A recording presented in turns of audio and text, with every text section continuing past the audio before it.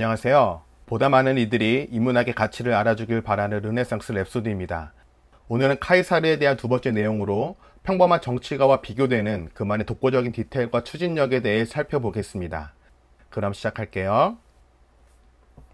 민중파의 대부 마리우스의 처조카였던 카이사르는 성장기를 보내면서 원로원이 주도하는 공화정 체제에 대한 의구심을 갖습니다. 동맥경화 현상을 일으킬 만큼 너무 노쇠하고 비대해져 로마 시스템이 흔들리고 있다는 진단이었죠. 이는 단순히 권력을 쟁취하기 위해 원로원 타도를 외친 기회주의적 발상은 아니었습니다. 집정관에 선출된 그가 단기간에 추진한 디테일한 정책을 보면 알 수 있죠. 오래전부터 생각을 다듬어 오지 않는 이상 전력과 정책을 여러 차례 수정하며 치밀하게 고민해 오지 않는 이상 불가능한 결과물이었습니다. 그리고 이 점이 폼페이우스와 카이사르를 가르는 결정적인 차이였고요. 그라쿠스 형제의 개혁이 좌절된 후 로마는 오랜 기간 내전으로 갈등을 겪으며 원로원파와 민중파의 대립이 극화됩니다. 그러나 여전히 원로원파가 민중파를 힘으로 압도하고 있었죠. 이 와중에 카이사르가 태어났고 명문 귀족의 집안 내력을 갖고 있었지만 고모부 뻘이었던 마리우스로 인해 자연스레 민중파 일원으로 인식되었습니다. 카이사르도 이를 부정하지 않으며 공공연하게 민중파임을 드러냈고요. 따라서 원로원파 입장에서는 카이사르의 출세가 달갑지 않았습니다. 그래서 에스파냐 속주 통치를 마치고 돌아온 카이사르가 집정관 홍보에 출마하려 하자 결격 사유가 없음에도 온갖 유치한 공작으로 집정관 입후보를 방해하죠. 하지만 카이사르가 누구입니까? 로마 역사상 가장 빛나는 영웅답게 번뜩이는 합종연행 아이디어로 당시 최고의 권력을 구가했던 폼페이우스와 로마 최고의 갑부 크라스스를 끌어들입니다. 그리고 결국 집정관 자리를 꿰차죠. 그 유명한 삼두정치의 결성 책을 읽어보겠습니다. 7년 전 해적 소탕 작전과 그 직후 동방 원정을 앞두고 키케로와 함께 폼페이우스를 지지하여 원로원파의 반대를 잠재운 사람이 카이사르였다. 이러한 과거 덕분인지 두 사람 사이에 비밀 협정이 맺어졌다. 폼페이우스가 옛 부하들을 동원하여 카이사르의 당선을 돕는 대신 카이사르는 집정관이 되면 폼페이우스의 옛 부하들에게 농지를 배분하고 폼페이우스가 조직한 오리엔트 재편성안을 승인한다는 협약이다. 이것으로 카이사르의 당선은 확실해졌다. 그러나 2인 연합으로는 폼페이우스와 카이사르의 힘이 균형을 이루지 못한다. 폼페이우스 쪽이 훨씬 강하다. 그래서 카이사르의 제안으로 크라스스를 끌어들여 3인 연합으로 하게 되었다. 3인 연합에 참여하라고 크라스스를 설득하기는 아주 쉬웠을 것이다. 원래 크라스스는 폼페이우스와의 경쟁 의식에 불타 있었다. 폼페이우스가 한몫 낀 것을 알면 자기도 거기에 끼지 않고는 밤잠을 이루지 못했을 것이다. 이리하여 기원전 60년 봄부터 여름에 걸쳐 역사상 유명한 삼두 정치가 성립되었다. 이제 막 40세를 맞이한 카이사르는 압도적인 다수표로 집정관에 당선되었다. 원로원파가 추천한 두 명 중에서는 비블루스만이 겨우 2등으로 당선되었다. 그러나 카이사르의 당선이 확정된 뒤에도 원로원파는 반년 가까이나 삼두 정치의 존재를 알아채지 못했다. 자신의 아내와 바람을 피웠던 카이사르와 뒤끝 없이 연합한 폼페이우스. 참 재밌는 사건인데요. 어쨌든 카이사르는 자신이 줄곧 외쳐왔던 원로원 체제 타도에 한 걸음 다가섭니다. 하지만 장관이 되었다고 대통령이 되었다고 손쉽게 개혁을 이룰 수 없듯 1년 임기의 집정관으로 500년 이상 지속된 로마 공화정 체제를 허물어뜨린다는 것은 불가능에 가까운 일이었습니다. 계란으로 바위치기였죠. 웬만한 정치인은 상대방의 역공으로 재기불능의 타격을 입고 제야로 사라질 법도 한데 지성, 설득력, 지구력, 자제력, 지속적인 의지를 두루 갖춘 인물로 평가받는 카이사르는 이 어려운 걸 해냅니다. 물론 카이사르 혼자만의 힘이라고 말할 수는 없습니다. 그라쿠스 형제 때의 원로원과 카이사르 시대의 원로원은 질적으로 달랐기 때문이죠. 그라쿠스 형제 시대의 원로원이 훨씬 까다롭고 수가 높았습니다. 일반 시민들의 문제의식도 낮았고요.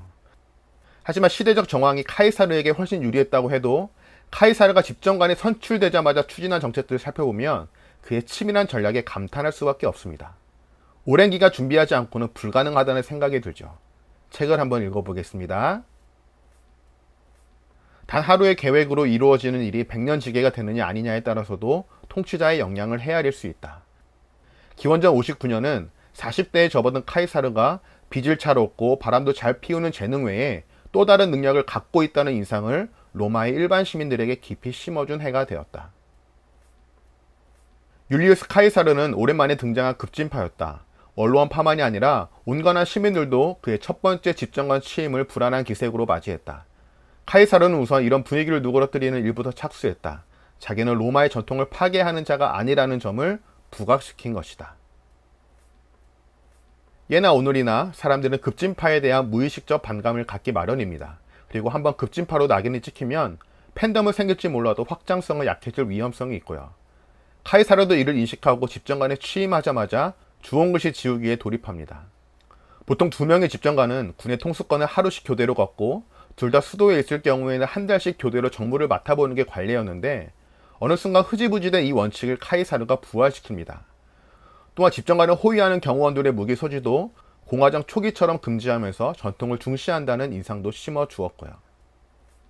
이로 인해 지지율이 올라가자 탄력을 받은 카이사르는 정광석화처럼 언론 개혁부터 손을 댑니다.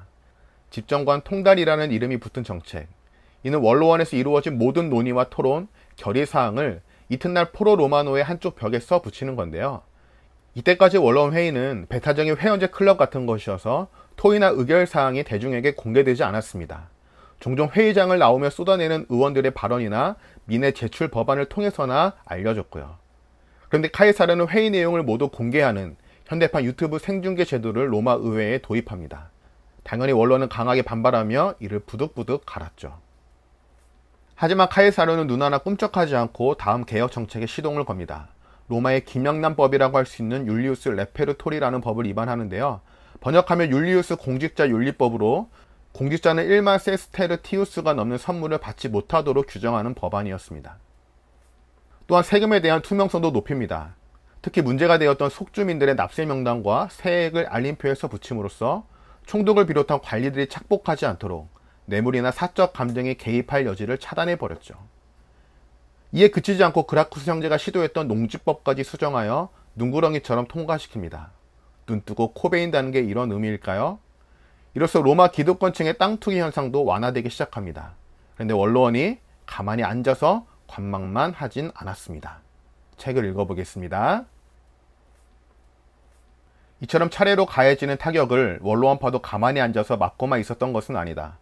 원로원파의 장로인 루클루스는 자신의 반대 의견이 일부를 통해 일반에게 전달되는 것도 각오하고 카이사르가 제출한 법안에는 원로원에 대한 경시가 명백히 드러나 있다는 이유로 반대했다.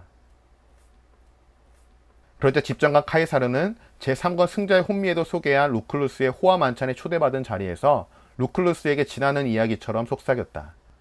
당신이 총독 시절에 부정을 저질렀다는 증거를 가지고 있다고.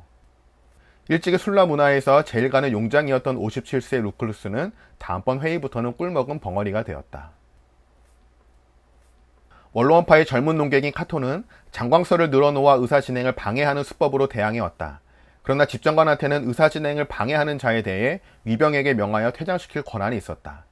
카이사르는 장광설을 그치지 않는 카토를 회의장에서 끌어내어 감옥에 가두라고 위병에게 지시했다.